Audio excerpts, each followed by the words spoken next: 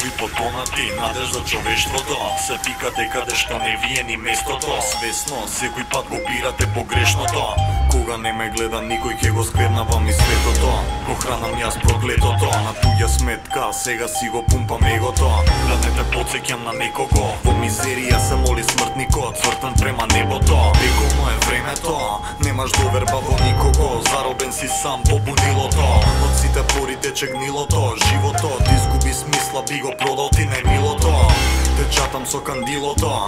Набрзо но сигурно ќе бидеш закопан ко животно.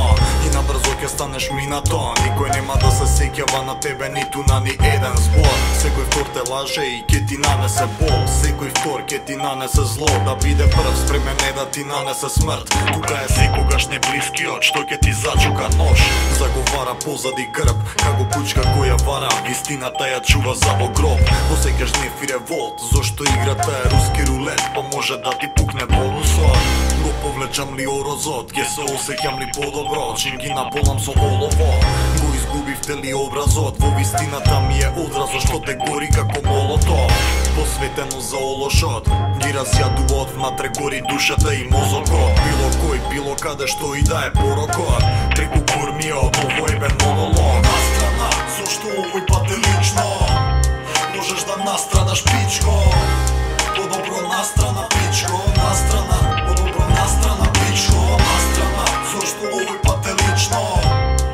Можеш да настрадаш пичко Подобро настрана пичко Настрана, подобро настрана пичко Настрана, зошто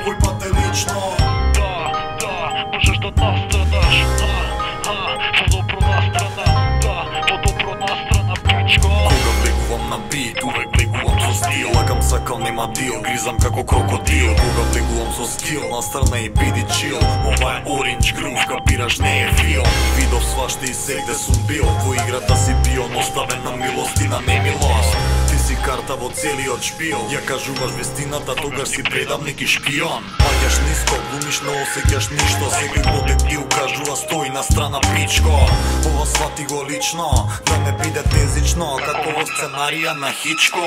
Секогаш сум бил на страна личност. Дали те ебам или сакам ми е исто?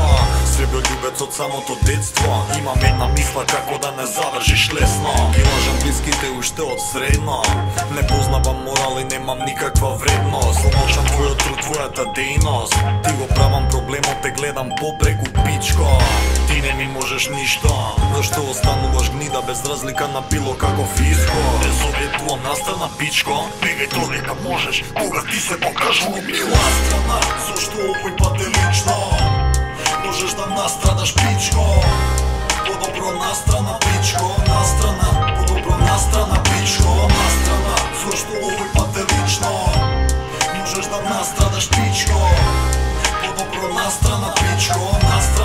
Буду про нас страна, пич, колона страна Со што овој